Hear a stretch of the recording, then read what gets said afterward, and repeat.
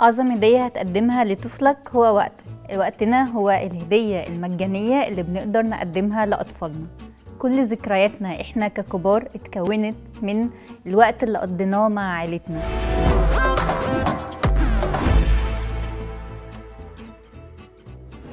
رحنا للأهل نعرف منهم إمتى كانت آخر مرة قضيتم وقت مع بعض كعيلة.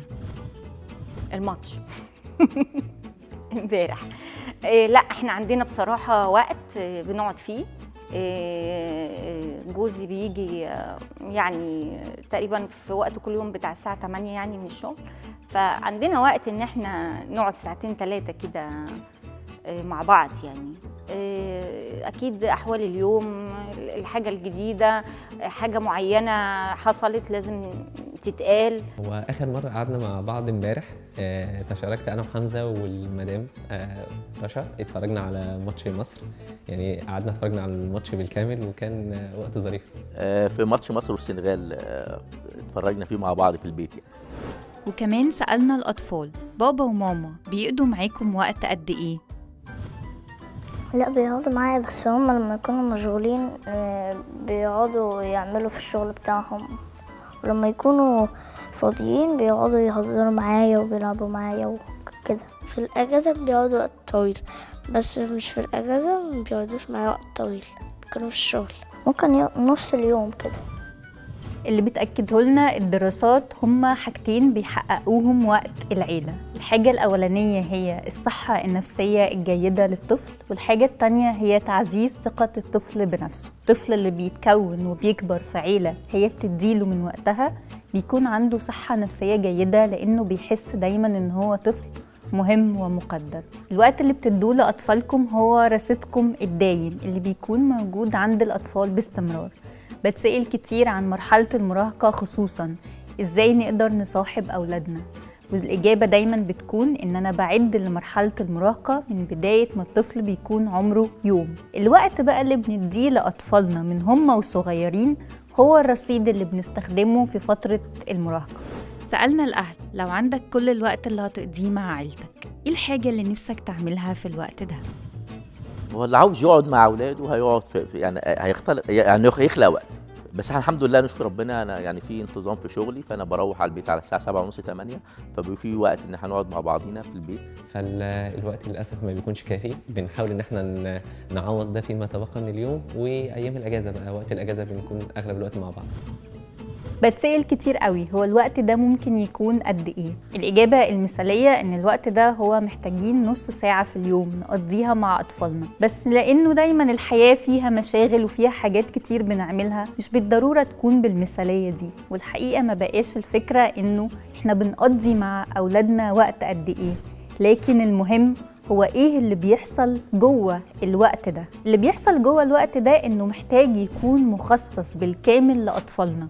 ما يكونش فيه أي حاجة تانية بتشغلنا عنه. ممكن نتفق كمان على الوقت ده.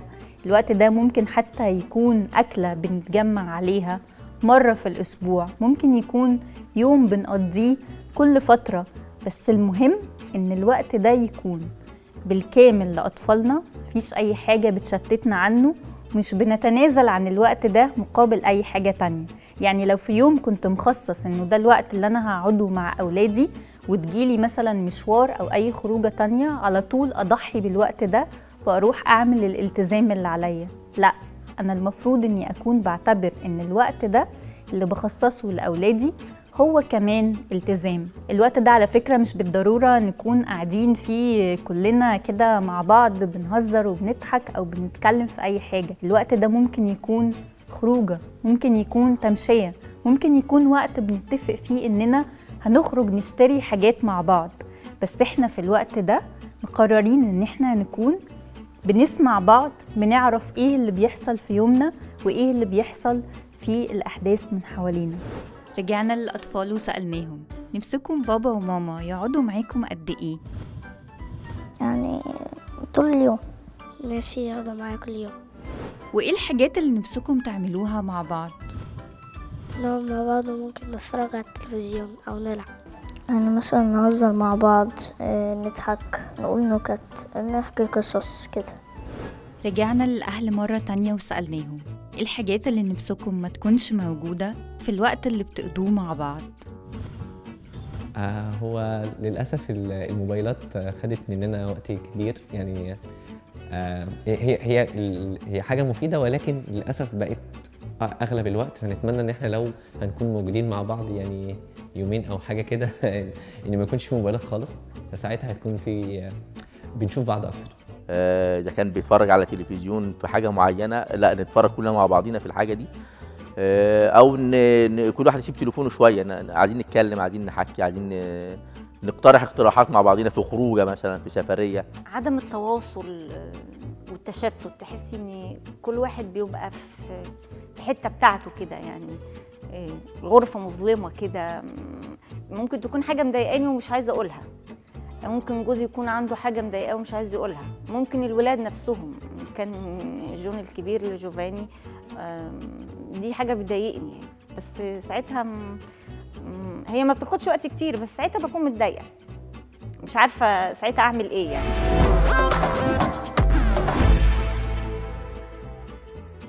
مهم ننتبه كويس جدا إن الوقت ده هو مش وقت ابدا لتصحيح الأخطاء ولا للنصايح. يعني مثلا لو حد من ولادي حكالي موقف حصل معاه في المدرسة الموقف ده ما كانش مظبوط قوي. على طول أروح قالب الوقت ده لوقت اكون بقول فيه نصايح وبصلح الاخطاء. لا بالعكس في الوقت ده إحنا بنحكي بكل أمان. مهم جدا إن أولادنا يكونوا حاسين بالأمان في الوقت ده. بعد كده أنا لو عايزه أتكلم عن الموقف اللي اتحكى ممكن أكون بتكلم عنه في وقت تاني. خدوا بالكم إن الوقت اللي بنقضيه في العيلة كلنا مع بعض والوقت اللي زي ما كنت بقول بقدر استخدمه بعدين. يعني ممكن بعد كده أروح أتكلم مع حد من ولادي عن حاجة هو حكاها. واحتمال جدا يكون محتاج مساعدتي. ولولا الوقت اللي إحنا قضيناه مع بعض بنحكي فيه يمكن ما كنتش عرفت هو محتاج لإيه أو كنت عرفت أخبارهم إيه. اعملوا كل اللي أنتوا عايزينه في الوقت ده. الوقت ده ممكن يكون آه، بنحكي بنرسم بنكتب بنتفرج على حاجة سوا. بنتشارك مع بعض إن إحنا نعمل أكل أو نعمل أي حاجة تانية مختلفة. بس المهم إننا نكون بنقضي الوقت ده وبنخصصه فعلا لأولادنا. وقت العيلة هو من أعظم الحاجات اللي ممكن تكون بتحصل في حياة أولادنا والحاجات اللي هيفضلوا يفتكروها طول عمرهم.